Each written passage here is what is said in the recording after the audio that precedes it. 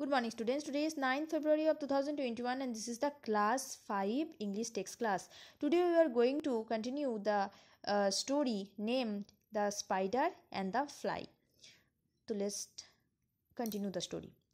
I am Spidey কি বলছে I am sure you must be tired আমি নিশ্চিত তুমি খুব ক্লান্ত ডিয়ার বন্ধু with some with soaring up so high এই উঁচু জায়গায় উঠে rest your tired little head upon my silken bed and close your little eye কি তুমি আমার তোমার ক্লান্ত মাথাটিকে আমার রেশমের বিছানায় শুইয়ে দাও এবং তোমার ছোটো ছোটো চোখ দুটো বন্ধ করো।